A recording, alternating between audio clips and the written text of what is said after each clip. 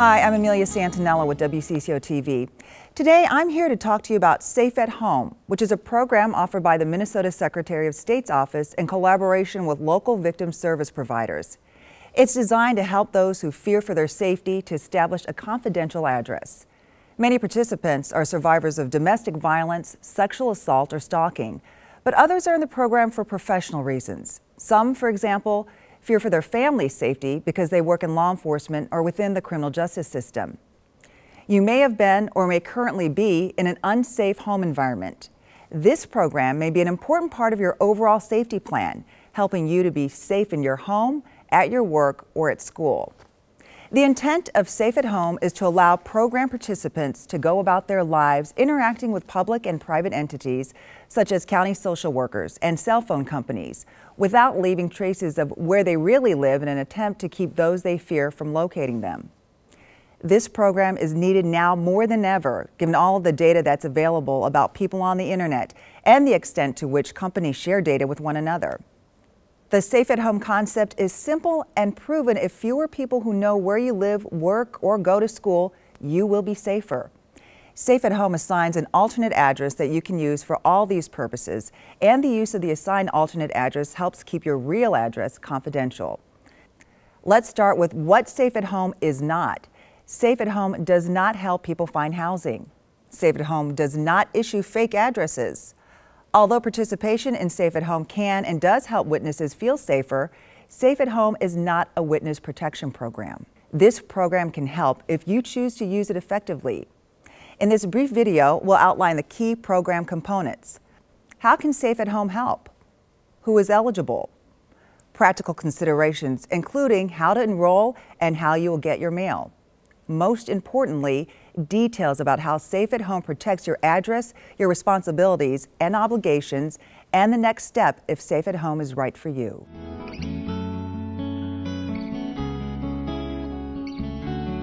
So, how can Safe at Home help you? Safe at Home helps you keep your home, work, and school addresses confidential. It does this by assigning you a substitute address, a specific post office box. Under Minnesota law, you're allowed to use the assigned address for all purposes and both public entities, like county social services, and private entities, like your cell phone company. They have to accept your assigned address as your actual address. Because you use your assigned address for all of your interactions with others, your mail goes to that address. Safe at Home picks up your mail for you at that address and forwards your mail to you at your actual address without charge. As a Safe at Home participant, you are allowed to use your assigned address for virtually everything, even for important documents like your driver's license. When you do this, you will not have to provide driver and vehicle services with your actual address. Safe at Home can receive legal documents for you on your behalf. This allows you to be involved with court proceedings without disclosing your actual physical address to the other party or to the court. Safe at Home has worked with many companies to establish the safest procedures possible so you can receive services like electric and water in the safest way. As a participant, you will receive information about how to do this, as well as direct assistance from the Safe at Home office if you encounter difficulties using your Safe at Home address. Safe at Home allows you to vote without anyone other than Safe at Home staff knowing your actual address. Safe at Home can assist with the transferring of school records so your child's old school will not know your child's new school. This assistance severs a paper trail that your abuser could potentially follow. Lastly, if you use the program effectively, Safe at Home will allow you to live in one place. If you had to continually move in order to keep your location a secret, participation in Safe at Home will help. You can stay in one place and feel safe.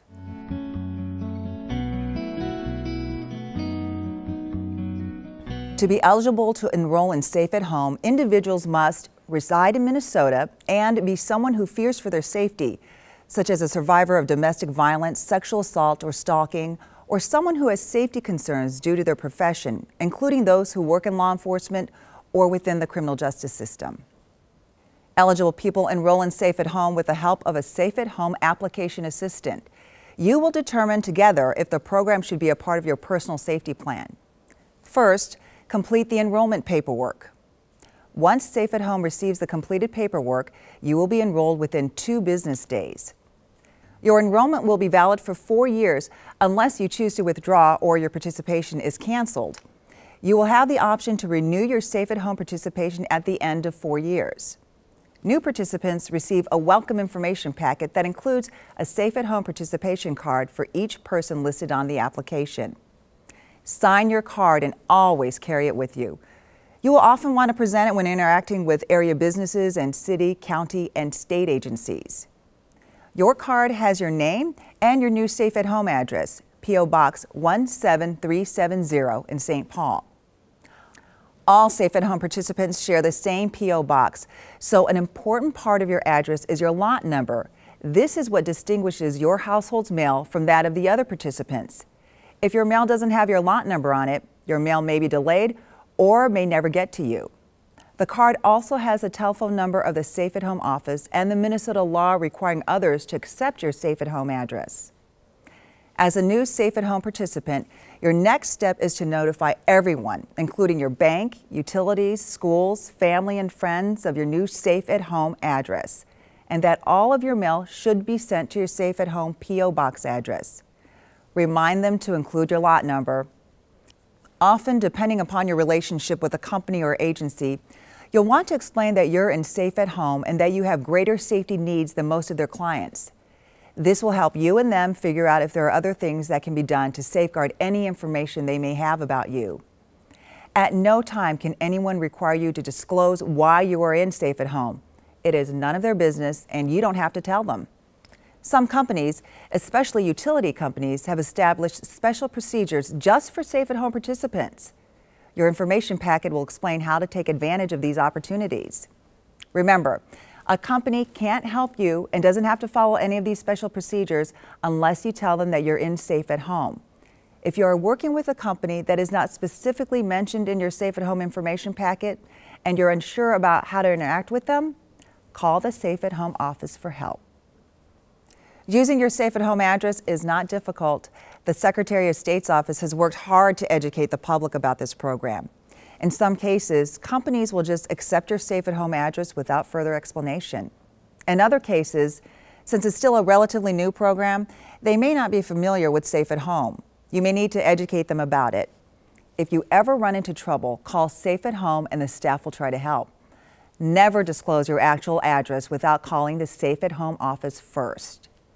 Remember, once you are in Safe at Home, you should use your Safe at Home address for everything I just need to check out those books, but I need to make a library card. I'm in the Safe at Home program. Here's my ID. Okay.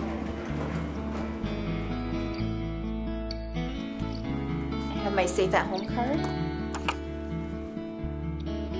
Okay, that takes care of any problems we had. Thank you very much. Hi. Hi. What can I do for you folks? Hi, I'm Jeannie and this is Joseph and we're here to register for school. Well, welcome. Thank you. All right, well, if you're registering, the first thing I need is your home address, please. Okay, well, um, I don't have to give you my home address because we're in the Safe at Home program.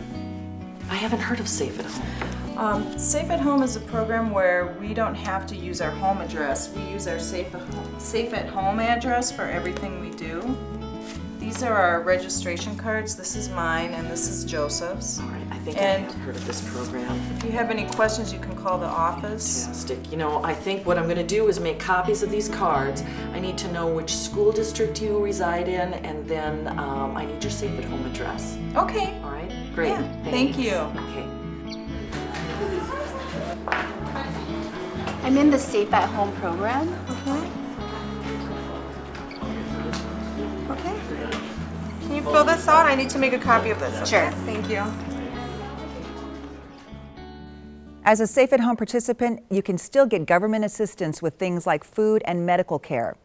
In Minnesota, this is typically done through your county. You'll need to disclose the county in which you live to your county social worker or intake worker. You cannot be required to disclose your actual address. They must accept your Safe at Home address. If you seek federal assistance, such as Section 8 housing assistance, you'll need to abide by any federal laws in order to receive this assistance, and this includes giving your actual physical address if it's required. While you are in at Safe at Home, all of your mail should go to your Safe at Home P.O. Box address in St. Paul because that's the only address you should be giving to people. You do not pick your mail up at the P.O. Box in St. Paul. Safe at Home staff will do that for you. Because all participants share the same post office box, all the mail is picked up by staff at the same time. It's then sorted according to lot number, and that's why it's so important to have your lot number on your mail. Your mail is put in a brown envelope and forwarded to you at your residential address free of charge. It's important to note that Safe at Home only forwards first class mail. And to keep the cost of administering the program minimal, Safe at Home does not forward magazines, catalogs, or junk mail. Additionally, Safe at Home will only forward two types of packages to you packages sent by government agency and medicines. This limitation is in place for your safety as well as for the safety of Safe at Home staff. If Safe at Home forwarded packages, abusers could put a tracking device in one to try to follow it to your home. This could put you in danger. In addition, the staff of Safe at Home programs in other states have been threatened because they are some of the only people who know how to find the participants. Safe at Home recognizes that an abuser could potentially hide a tracking device in a package in order to locate the Safe at Home office or follow program staff. So even though it is inconvenient, this no packages policy is in place for very good reasons. You'll find other ideas about how to receive packages in your welcome information packet when you join Safe at Home. Although Safe at Home typically picks up your mail each business day and forwards it to you that same day, your mail will be slightly delayed in reaching you. Please remember this when paying bills and responding to timely notices. Because Safe at Home is your agent to receive mail while you are a participant, when your mail is picked up at the post office box by Safe at Home staff, it's just as if you picked it up. Your mail is considered received by you. If you're using the program properly and for your own protection, the only mail you should receive at your home is mail forwarded to you by Safe at Home.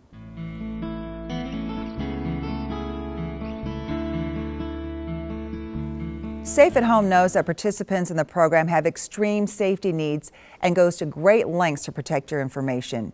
Even the office scenes depicted in this video are simulated. Only the immediate program staff have access to any information about participants in the program. No one else who works for the Office of the Secretary of State knows anything about participants in the program. Not your names, not anything. In fact, Safe at Home is run with the same underlying principle that program participants are advised to live by, which is if fewer people know a participant's actual address, the participant will be safer. Likewise, the Secretary of State's office believes that only a few people should actually know where the Safe at Home office is located. This rule is taken very seriously.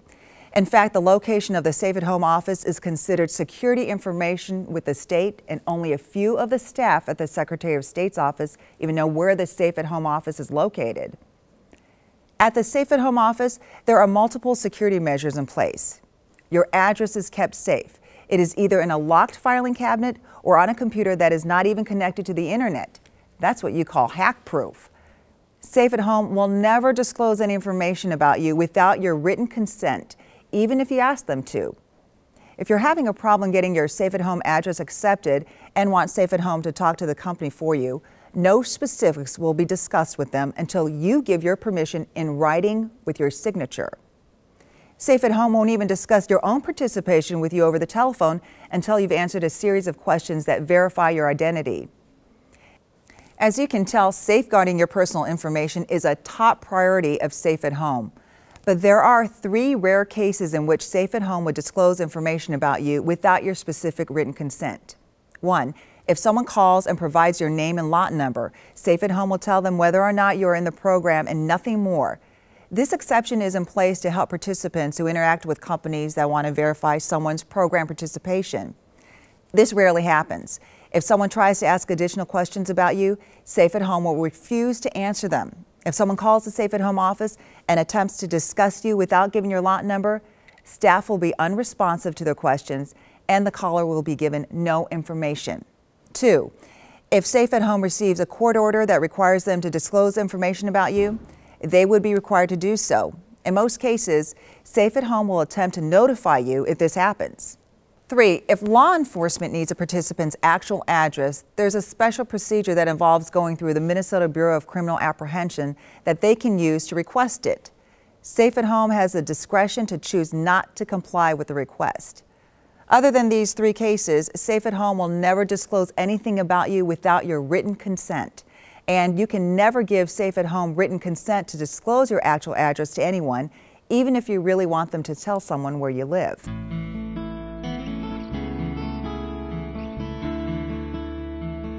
Safe at Home must always know where you live and if any of your contact information changes, including your phone number. If you move without letting Safe at Home know, you may be canceled from the program. In addition, you must promptly respond to any legal documents that you receive. Safe at Home is your agent for service of process.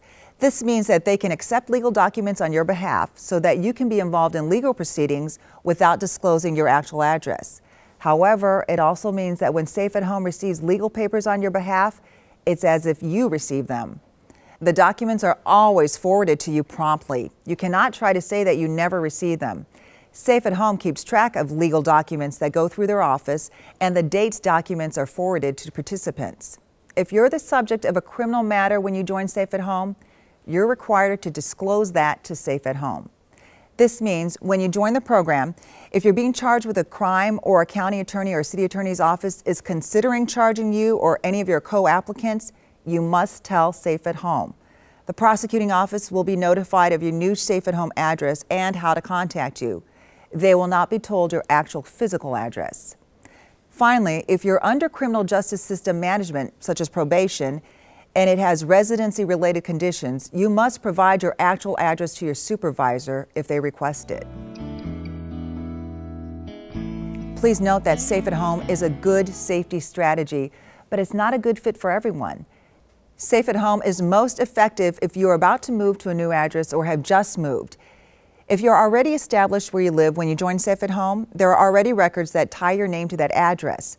Safe at Home can help prevent that going forward, but cannot require that companies or agencies erase information that they already have about you. If you're already established at your address and don't want to move, it's likely that it will be fairly easy for someone to find your address. Safe at Home probably won't be a very effective strategy in this case. In addition, when you're in Safe at Home, you have to be willing to tell people you're in the program, to show them your Safe at Home card, and to tell everyone that you live, work, and go to school with. Some participants report they initially have some discomfort with this, but they quickly adapt. If this is something you know you'll have a lot of difficulty with, joining Safe at Home is not for you. Remember, as a Safe at Home participant, you need to make sure as few people as possible really know where you live. This means having to stop and think before inviting your children's friends over or ordering a pizza. You may have to think creatively. If you get stumped, talk to your victim advocate about your safety plan or call the Safe at Home office. You can't receive magazines or most packages through Safe at Home. Although Safe at Home turns your mail around very quickly, all of your mail will be delayed. This means that you'll have less time to pay your bills or respond to other items. If you join Safe at Home, Everyone else in your household should join the program too. This is the only way to ensure Safe at Home is an effective safety strategy. Doesn't do any good for you to give out the Safe at Home address if you live with another person who's actually giving out the actual physical address that you're trying to keep a secret. It would only be a matter of time before your secret is well known. Reminding you of these limitations is not meant to deter you from joining. Rather, it's to help you consider whether joining will be effective in keeping you safe. Consider your safety needs and whether this is the right step for you to take.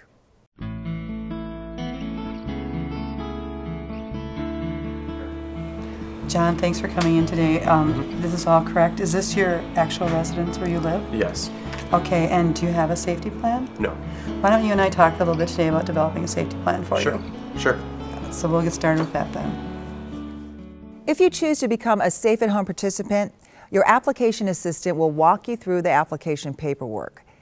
Here are a few tips when filling out your application. You must provide the address where you live right now, not where you hope to move to or where you want to receive your mail. You must include a telephone number on your application. Be sure to fill out all of the required parts of the application. If there's something wrong with your application, Safe at Home will contact you using the number that you provide. When your application is complete, it's mailed to Safe at Home. Expect to receive your welcome information packet and a call from Safe at Home within one week. You give us strength and hope. We are not just struggling, wandering victims. I'm so glad this program exists. Thank you all so much for your time, concern, and conscientious handling of all the details, making my life more safe. Being able to feel like I can wake up and feel like I can and will be okay. My little one is safe. I used to say before finding safe at home that I was in hiding and would feel unprotected. Now I feel more protected.